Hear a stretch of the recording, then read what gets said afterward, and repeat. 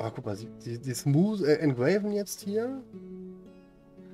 Hier wird auch noch, noch gesmooth. Der Thronsaal geht langsam voran. Und die Bibliothek. Ich meine, ist die Bibliothek nicht komplett über der Kneipe, sondern nur bis hier ungefähr. Das heißt nicht ganz so laut. Ist auch nichts los in der Kneipe, ne? Kaum Besucher da. Ja, es bringt ja nichts, das Geröll jetzt schon wegzuräumen. Bleiben wir noch nicht durch. Ich bin gerade überlegen, ob wir aus der untersten Ebene nochmal wieder einen Rand drumherum graben. Ich glaube, das wird sogar Sinn ergeben.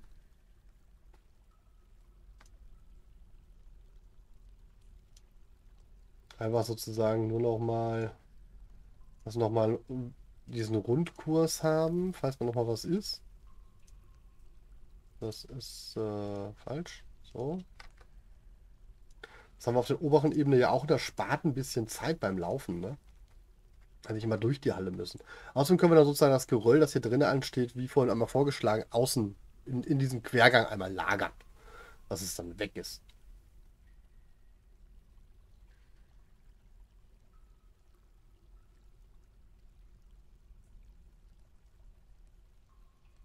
Der Maler macht das jetzt hier. Wir warten noch hier auf die letzten Engravings. Eine Petition, wer will was?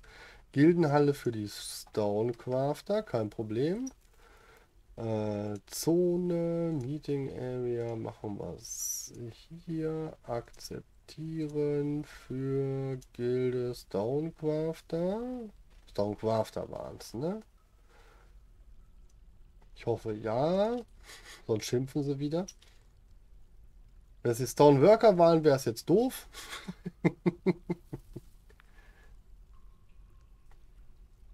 Ich gar nicht hergestellt bisher, Schubkarren, ne? Und warum denke ich an solche banalen Sachen in letzter Zeit immer so selten?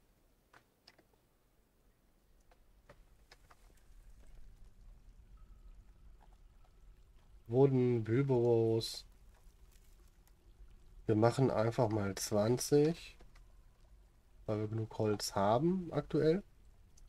Und das heißt, ich müsste mit den Stockpiles, wie zum Beispiel dir, einmal sagen, ich mache bei den, dort du kriegst vier.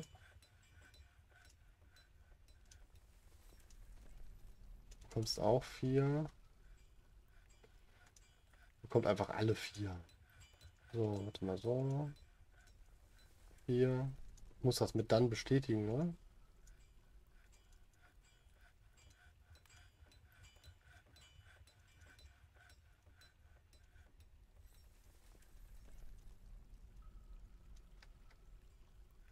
Wird das hier bestätigt?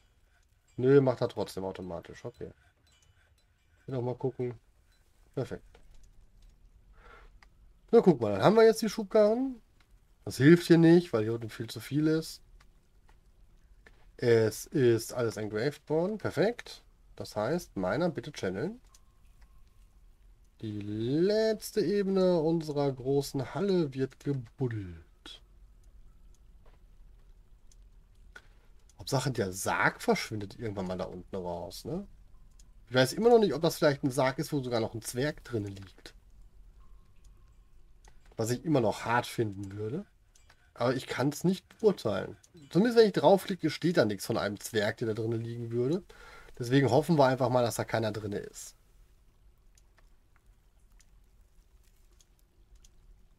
So, tak, tak, tak, tak. So, wenn die letzte Ebene halt hier gechannelt wurde, dann schmeißen wir die Steine erstmal irgendwo draußen hin, über den Damm, wie es von vorgeschlagen wurde. Die Idee ist gut. Und dann können wir es auch draußen wieder erlauben. Dann können sie nachher die Steine, die sie brauchen, können sich dann nachher nehmen. Wir werden es erstmal los und vor allem sind alle Zwerge dann auch erstmal beschäftigt. Wenn das alles gedammt werden muss, ist natürlich auch eine Masse. Ne? Aber alles, was wir gebrauchen können an Stein, können sie dann mit den neuen Schubkarren, die hier irgendwann hergestellt werden, oder die hier aktuell hergestellt werden, äh, können sie dann wenigstens abholen. So, unser Militär sollte vielleicht mal kurz wieder ein bisschen frei kriegen. Ähm, in der Hoffnung, dass jetzt keine neuen Amphibienmenschen kommen, die unsere Festung zerstören wollen. Wir können auch, um das zu unterbinden, das Bow einfach nochmal wieder aktivieren, wo wir aber alle Zwerge wieder zuweisen sollten. Dann kommen nämlich erstmal Zwerge, die jetzt draußen rumlaufen, erstmal wieder rein. Sollten noch welche draußen rumlaufen. Der Hase vielleicht nicht.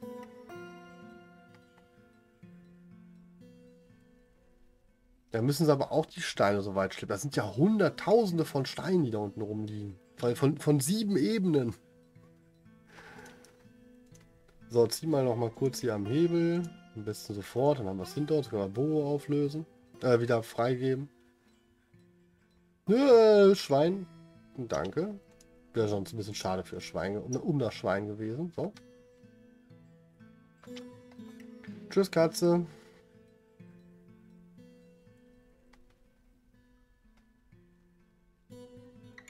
So, ich hoffe wirklich noch, dass wieder nur Katzen sind, die draußen sterben werden und nicht irgendwelche Zwerge.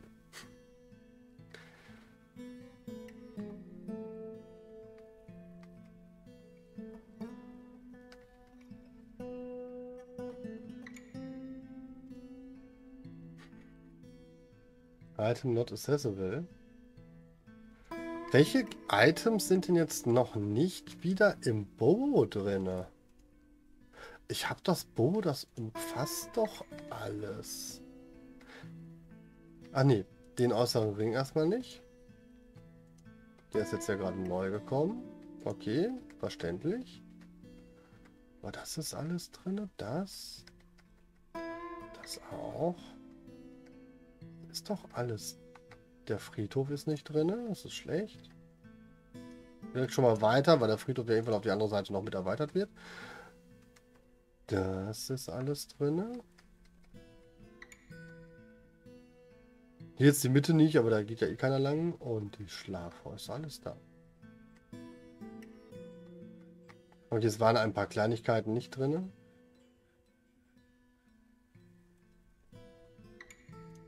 Aber okay. Jetzt geht's. Jetzt passt es. Hoffentlich. Merken wir das nächste Mal, wenn wir das Boho anschmeißen. Wenn es dann wieder heißt, die Höhe ist nicht erreichbar.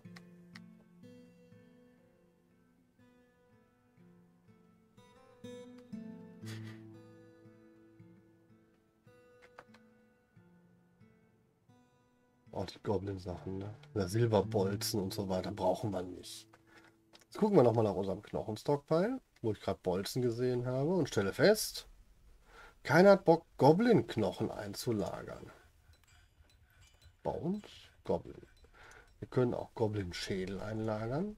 So, was wir jetzt hier? Goblin-Schädel. Goblin-Körperteile? Nein. Können auch noch Goblin-Zähne.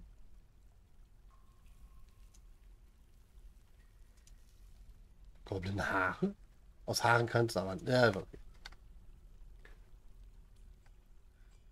Mein Knochenstockpile funktioniert nicht und das wundert mich gerade. Das hat immer funktioniert. Da habe ich einfach keine Goblin-Leichenteile. Doch. Von hier sind die Knochenstalle weg. Troglodyt-Skelett und so weiter. Die Troglodyten sind ja da.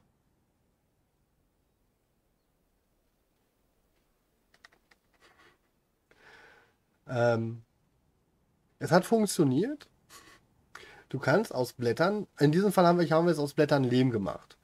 Ähm, oder Clay in dem Fall. Äh, Im Frühjahr, äh, wenn der Schnee weg ist, kann ich es zeigen. Wenn du auf der Ebene der Blätter baust und auch noch Blätter darüber sind, weil die Blätter über zwei Ebenen gehen, wird der Bau des Floors abgebrochen, aber es bleibt Lehm liegen. Ich dachte, es bleibt vielleicht Sand liegen, aber in dem Fall war es einfach Lehm oder Clay. Das heißt, ich könnte jetzt Clay halt dort eine Clay-Zone machen. Was mir nicht hilft, ich wollte eine Sandzone haben. Das war ja meine Hoffnung. Deswegen habe ich diese komische Konstruktor gebaut, weil ich in der letzten Festung gemerkt habe, wenn man auf Bäumen Böden baut, also einen Floor auf einem Baum baut, kommt der Boden, der da drunter ist, irgendwie statt dem Flor. das ergibt keinen Sinn. Vielleicht ist mein Gedankengang auch ein bisschen abstrus. Aber in der Theorie hat es geklappt. Wir haben jetzt Clay auf dem Baum. Aber kein Sand, wie ich es gehofft habe. Es ist halt Sandy Clay. Und deswegen hilft es mir nicht weiter.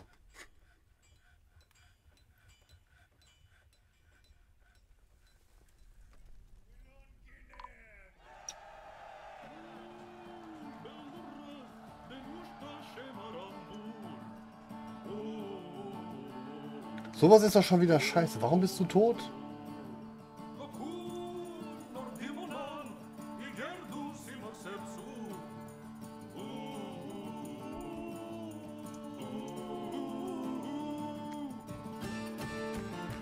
Wo kommt jetzt die Spinne her?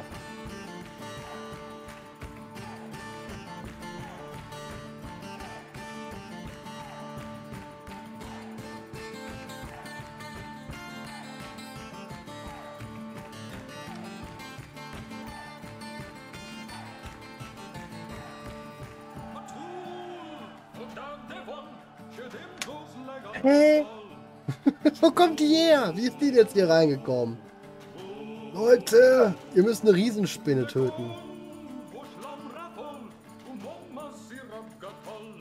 Ah, wo kommt die denn jetzt her?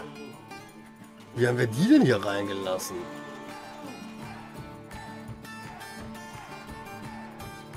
Grayscurt, die sechs Jahre alte Riesenspinne. Also die, normalerweise sind die Spinnen kein Problem. Aber die muss ja reingekommen sein. Moin, Caleb!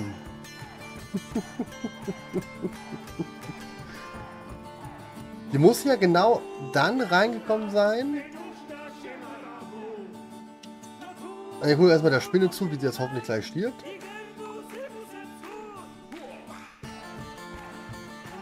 Wir haben zwei tote Zwerge.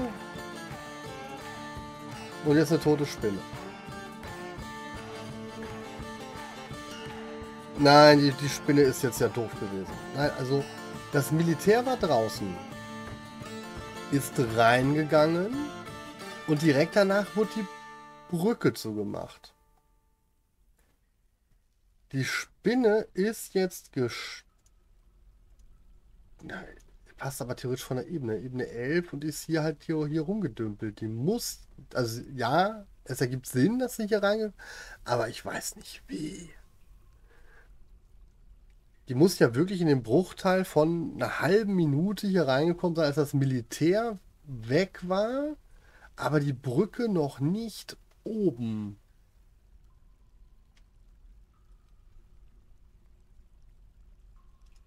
Okay, ist halt nicht. Also klar, Komfort. Nervt aber, weil es schon wieder.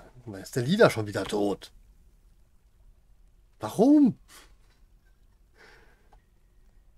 Der hätte doch die Spinne töten können. Guck mal, Dieter ist ein Novize Exdwarf. Stimmt, er war Soldat, aber wir können Dieter nicht nehmen. Oh, ist ja voll schön, Dieter jetzt als militärischen Anführer. Einmal im Monat hast du einen Wehr-Lizard als Soldat. Wir nehmen irgendeinen total unfähigen Anführer. Hat keine Ahnung von Soldaten, aber der ist jetzt der neue Chef. So. Und ich mache einen neuen Squad. Mit dem Captain of the Guard. Du bekommst einen eigenen Squad mit der Standard-Axt. Du bekommst auch einfach irgendwelche Leute jetzt.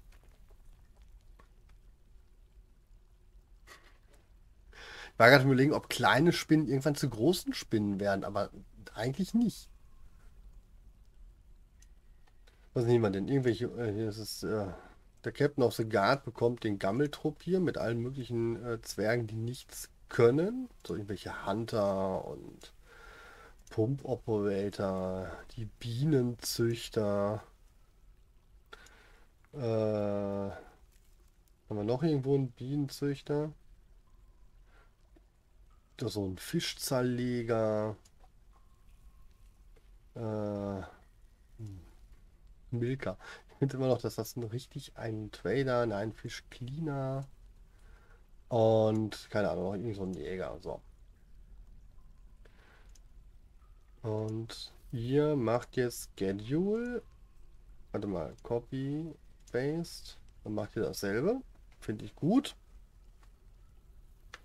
Dann haben wir jetzt zwei Truppen und das heißt, das ist ein bisschen klein jetzt hier mit zwei Betten und zwei Kisten. Aber ihr macht das schon, oder? BFB, guck mal, ihr kriegt doch ein paar Betten hier mehr rein. Noch drei Betten mehr. Hier, wir machen sogar vier Betten. Ja, guck mal, sechs Betten für 20 Soldaten. Das ist doch super. Und dann kriegt ihr noch ein paar Kisten dazu. So. Nicht, dass sich hier noch ein Soldat nachher beschwert, der hätte keine vernünftige Kaserne. So, den Count habe ich nicht hochgesetzt, jetzt sind wir noch bei 11. Ne? Ich muss ihn auf 13 setzen. Richtig, richtig. Hm, heute, heute erst, erst vier Zwerge verloren. Heute. Sagte er, bevor alle anderen starben.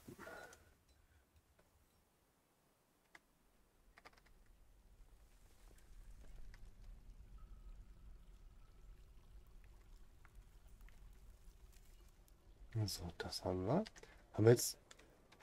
Ist dieser Dingsjob eigentlich fertig? Scheint so. Haben wir jetzt tatsächlich... Warte, muss ich das mal ausprobieren. B, Construction, Floor. Tak, tak. Macht er nicht, weil da ist ja die Dings.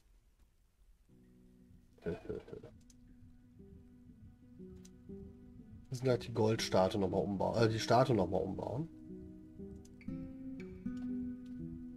Aber wir machen jetzt erstmal unseren dekadenten Goldboden in den künftigen Thronsaal.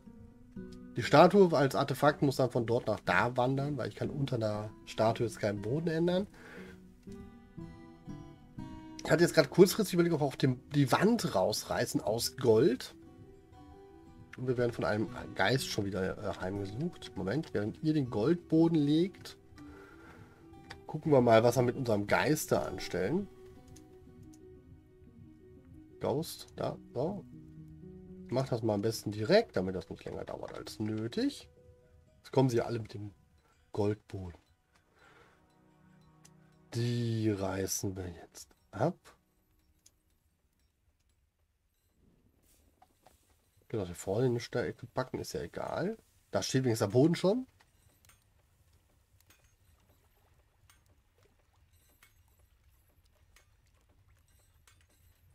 Ich bin gerade überlegen, ob das jetzt ein schöner Boden ist oder nicht.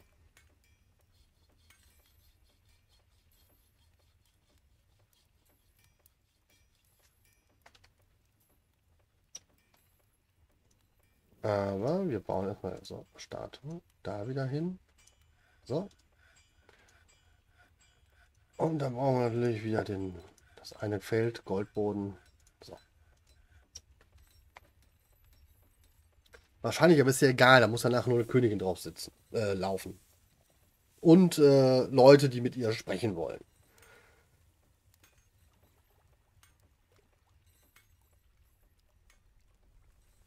Und die eine Statue steht jetzt schon wieder da. Das ist, das ist ja super. Müssen wir noch ein paar Platin-Statuen herstellen? Einfach nur, um den Raum halbwegs schön zu machen. Ich weiß nicht, warum die beiden Sachen, äh, die eine Sache schon wieder suspended ist. Ach, weil der Stein da noch drauf lag. Okay. So.